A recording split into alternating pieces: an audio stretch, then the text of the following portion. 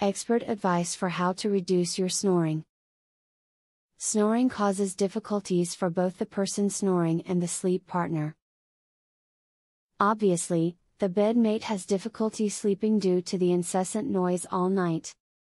Many do not realize that snoring is disruptive to the sleep of the person who is snoring also. Below are some useful suggestions to help you both sleep peacefully. One way to help keep from snoring is to avoid tranquilizers at bedtime. While tranquilizers might help you sleep faster, they will also relax the muscles that hold your nasal passages fully open. They will contract partially, and air will have a harder time getting through, and you will snore.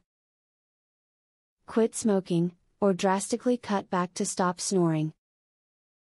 Smoking causes all sorts of damage to your respiratory system and other parts of your body. If you are a heavy smoker, smoking might actually be the cause of your snoring problem. Quit smoking to stop the snoring and live a healthier lifestyle. If you often find yourself snoring at night, avoid drinking alcohol. Alcohol can suppress the central nervous system, thus causing all the muscles in your throat to fall into a relaxed state. Your jaw muscles will relax too, increasing any snoring problems. Only drink in moderation, if at all, and you will avoid this problem. Don't consume too many dairy products, especially at night. Dairy properties allow mucus to build up in your nasal cavities, and this will restrict the breathing through your nose at times, which can lead to snoring. If you're going to eat dairy, do it early in the day to reduce your chances of snoring. If you have tried everything you can to stop snoring and nothing works, you doctor may suggest surgery. With this kind of surgery, the doctor will remove or reduce some throat tissue, which will reduce your snoring. Just be aware, that like most surgeries, there are possible risks and complications. In order to reduce snoring at night, Work to clear your nasal passages before going to bed.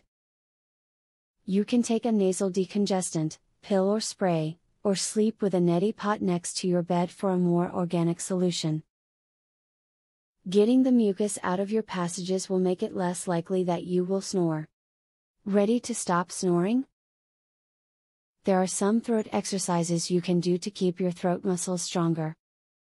One thing you can do is repeat the five vowels out loud, consistently, for 3 minutes consecutively, several times a day. Building your throat muscles will reduce your instances of snoring.